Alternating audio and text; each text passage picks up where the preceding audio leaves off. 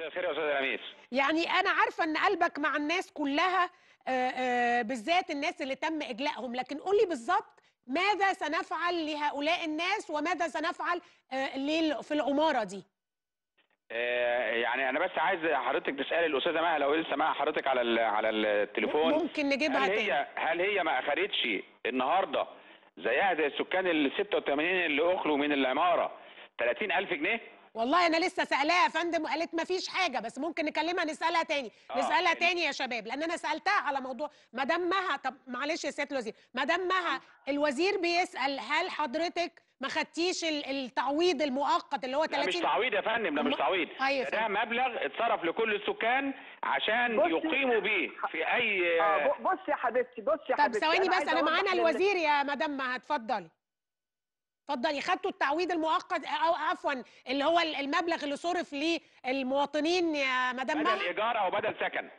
بدل بدل سكن عشان الفترة اللي أنتوا هتقعدوا فيها بره.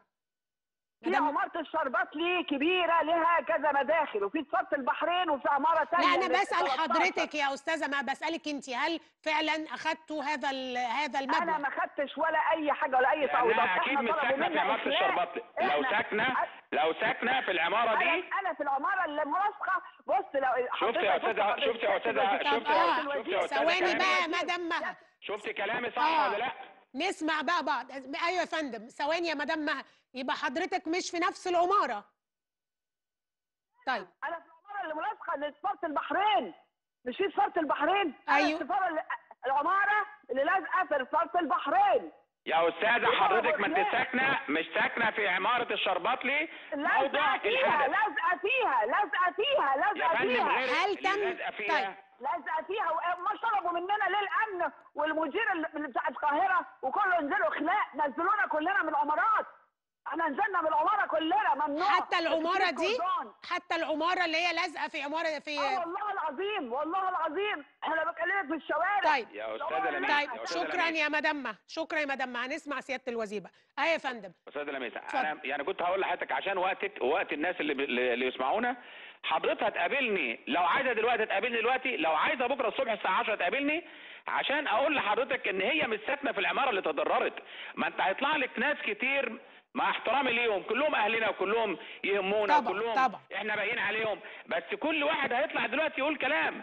ال 86 ساكن يا أستاذة نبيل. أيوه فندم. السكان عمارة الشرباطلي المتضررة دلوقتي تم إخلاءهم بالكامل وصرف 30 ألف جنيه. لو حضرتك بس أنا مش عايز يعني مش عايز أقول كلام كتير أنا ممكن أبعت لحضرتك دلوقتي الإقرارات والإيصالات اللي الناس اللي الناس استلمت فيها ال 30 ألف جنيه ال 30 ألف جنيه ده ما هوش تعويض ده مبلغ بنصرفه وقانوني وإحنا واخدين على الشركة تعهد ومتعاقدين معاها على هذا الأساس.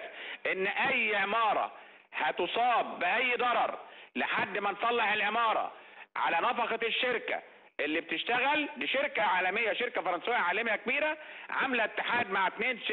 أكبر شركتين شركتين في مصر المقاولون العرب وأوراسكوم مسؤولين يعوضوا أي ساكن ب 30 ألف جنيه عن إيجار شهر يسكن في أي أوتيل يسكن في أي شقة أخرى ال 30 جنيه دول ال 30 ألف جنيه دول إحنا ما. بي- بيهم على حد دول حقهم ودول آه، يا دوب يجيبوا له آه، مسكن ملائم صحيح. لمدة شهر إحنا جايز ما نقعدش نصلح شهر. وده متوقف على حجم الضرر اللي موجود اللي أنا مش هقرره. أنا مهندس ووزير نقل ورئيس هيئة الأنفاق مهندس وكل هيئة الأنفاق مهندسين وفي استشاري المشروع مهندس. ولكن قصدنا إن إحنا ما نفتيش وما نطل... ما نقولش كلام إحنا علشان يبقى فيه شفافية وفيه آه، حيادية في. في التقرير. اللي حضرتك بتعرضيه يا أستاذة مها بالمناسبة يا أستاذة لميس بالمناسبة ده أرضية ال- الفناء الخارجي أرضية الساحة الخارجية بتاعت سفاره البحرين. يعني مش السفاره ولا المبنى ده الأرضية اللي موجودة أمام الم... ال- المبنى. الأرضية تأثرت السور الخارجي تأثر الغرفة بتاعت الحارس تأثرت ودي كلها حاجات بسيطة جدا هتتعالج إن شاء الله بإذن الله.